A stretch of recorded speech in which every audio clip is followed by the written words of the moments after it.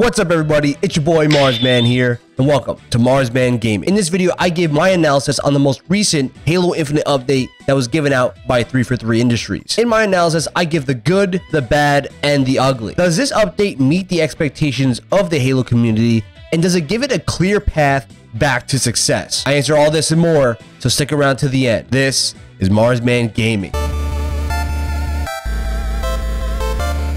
So in my short reaction videos here, I always try to give the good, the bad, and the ugly because every time you see some sort of event like this, I feel that it's best to try to break this down into several components and not always focus on one way or the other. So when I look at these types of events, I try to say, all right, here are the positives, here are the negatives, and boy, here is a straight up ugly. So let's just jump into it. First off with the good. In my opinion, I think Forge looks fantastic. 343 came out and showed off the kind of the beauty of this new Forge that has been developed. And when you talk to Joseph Staten, IGN as well as others had basically said what was the limit of what you can do in this new update. Essentially, Joseph Staten had kind of mentioned how Halo 5 up to date was considered to be the largest forge that we've seen. And when you compare Halo Infinite's forge to that one, it nearly triples the size of the amount of items and types of layouts that you could possibly do in this upcoming update. Now, in my opinion, I think that is such a fantastic thing to see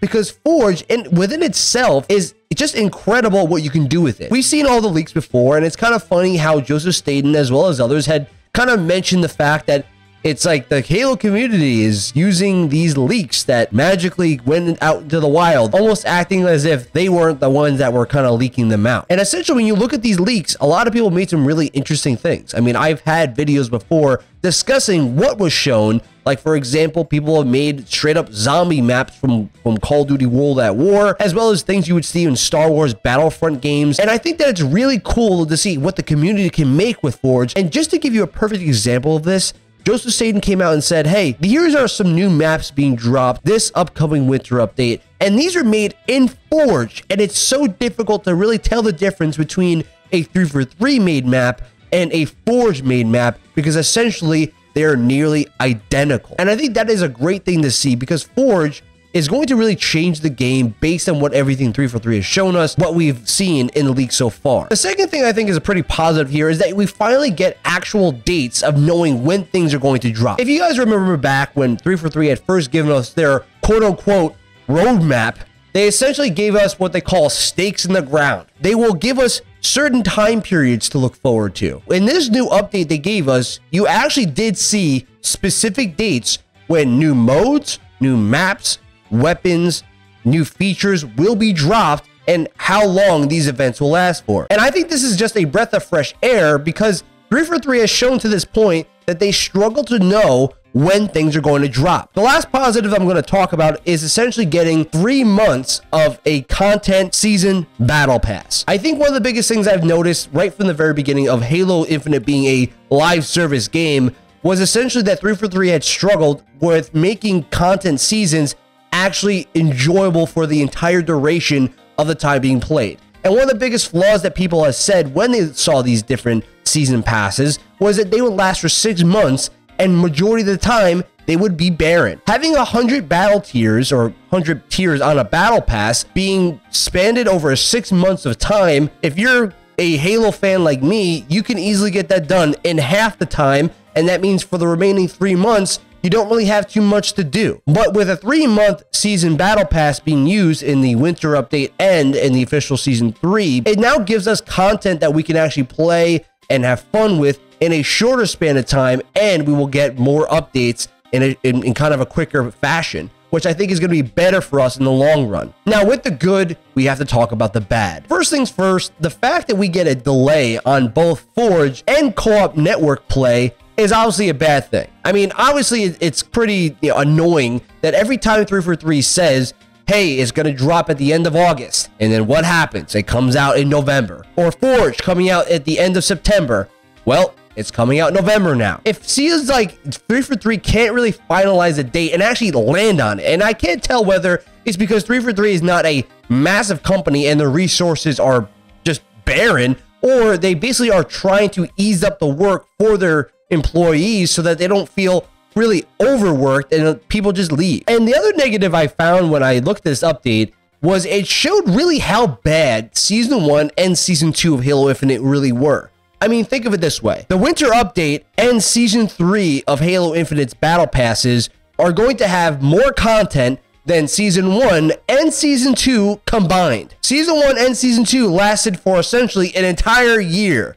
And this winter update is going to have two maps added. It's going to have Forge. It's going to have co op network gameplay. It's going to have new modes, new weapons, possibly new events that are free, and a battle pass that is essentially free for everyone to use. So you're telling me in three months span, I will get all those things. And in season one, we didn't get a new single map, new game modes essentially for half of it. BTB was broken for majority of that. Season two gave us two maps finally, and it seems as if we were able to get more content in a winter update than we were for an entire year of Halo Infinite's lifespan. And then season three is going to give us even more content than that. Halo Infinite, first year of the game, essentially gave us little to no content to play, while the winter update and season three are going to show that what they have in store in the future is way more than what we had previously. So it shows the failures of what the first year of Halo Infinite were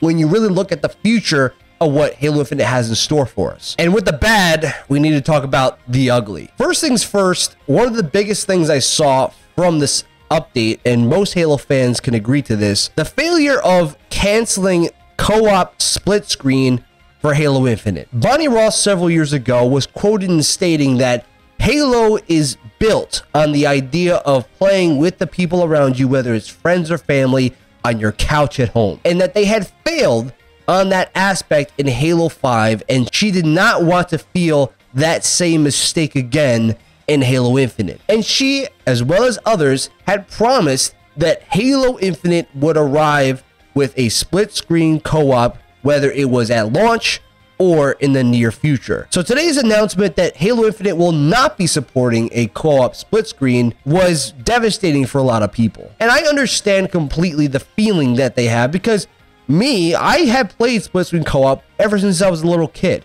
That was partly, actually, the main reason why I was even able to play Halo for the first time ever. So I understand the impact of not having split screen at all in the Halo game. This hits deep with a lot of the Halo community, and I can understand why they are just really disgusted with this idea being put out there. It was definitely one of the biggest disappointments from seeing this update, and I can understand why a lot of people looked at this as being the biggest news that came away with. But in my opinion, the worst part of the update, or the ugliest thing I've seen from this update by 343, was essentially the proven fact that 343 can't land on anything they plan or tell us they want to accomplish in their games. Since Halo 5, it seems as though the Halo community has been torn to shreds because they have basically been on the opposite ends of the spectrum of whether they should hate 343 or they should love 343. It seems that a lot of Halo fans have become toxic against even each other over the concept of whether they should be angry with the direction of Halo or whether they should still support 343 going forward because it's still their favorite franchise. Now, the reason why this all started was because of the fact that 343 had promised us Halo fans a lot of things. They promised us a really in depth story with Halo 5, showing two different perspectives and a marketing campaign that was going to show Master Chief go rogue and Locke chasing him down, and then lying to us straight up in a marketing campaign when they show us what the campaign actually was. And from there on out, Halo Infinite arrives with a split community. A lot of people were looking at Halo Infinite as being the make or break game for them. So essentially, when the Halo Infinite comes out, at the very beginning, it was well liked. When you look at Metacritic, it still hits around that 86 to 87 range in the overall critic rating. However, if you ask most Halo fans, they'll tell you that they aren't happy with the direction of Halo Infinite due to the fact that there's a lack of content. So when you ask Halo fans about this update and whether or not they feel better about it, most people will tell you that they feel even more disgusted than before. Now, I think partly the reason why this is the case is essentially because most Halo fans were excited to see what the future of Halo Infinite was. They wanted to see whether or not Halo Infinite was going to be filled with content because that was the biggest flaw that it had since the beginning. And 343, unfortunately, has shown that they have been unable to meet the expectation that Halo fans have for them. Showed that 343's biggest downfall was they're unable to land on any of the goals that they place going forward for any of their Halo games. So when I'm looking at this overall verdict of what I think about the update and what it does for Halo Infinite and even to the Halo community, I have to think about this in a few ways. When looking at the positives, the one thing I'll say for what this update does is it does give us content of what we should expect for the future of Halo Infinite in the next six months. Forge looks really cool, and I'm really excited to see what it can do and how far I can go with it. We have a general landmark date of when this content will arrive, and at least it shows us what you have to look forward to in the future. However, at the same time, the issues are that there are constantly delays happening with a lot of the different things. So in a lot of cases, you can't really trust some of these dates that 343 has put forward. And obviously the cutting of major features or updates that a lot of Halo fans held dear to them makes this update feels sour to them. It feels like every time you get an update from 343 that you can't really be completely positive. It feels like every time they tell you something, it's always a good news, bad news scenario. Like Forge looks great. There's a bunch of content on the way. Free battle pass, but we are cutting split screen co-op. There's never a time where you just hear from 343 and say, wow, I can't wait to see what comes next. It's always a, wow, that was pretty cool. But what was that last thing you said? And that's kind of the issue I noticed with 343. I've had several videos already on the channel that have basically talked about what 343 needs to do to fix the problems for the future of Halo Infinite. Do I think that this is the end game, the judgment day that a lot of people have given Halo Infinite? No. One thing that this update does is it gives content of what Halo Infinite's going to have in the future.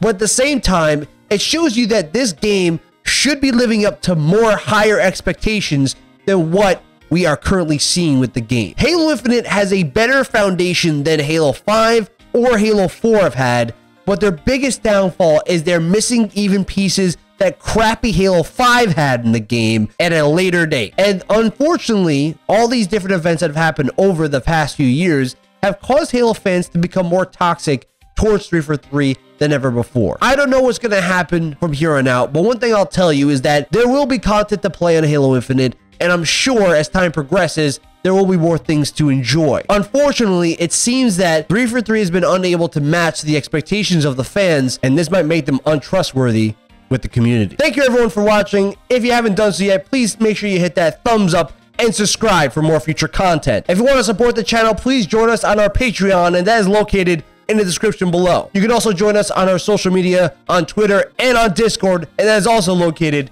in the description below. Until next time, this is Marzzman from Marzzman Gaming, signing off. Peace.